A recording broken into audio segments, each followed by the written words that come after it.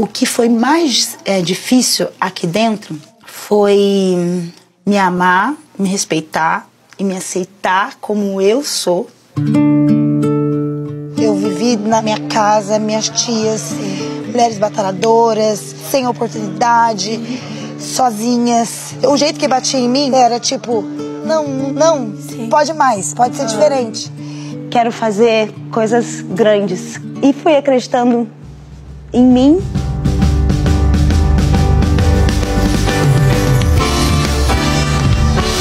nossas fragilidades e vulnerabilidades, elas se potencializam aqui. Muito, muito, muito, muito. Acho que é como você lida com elas.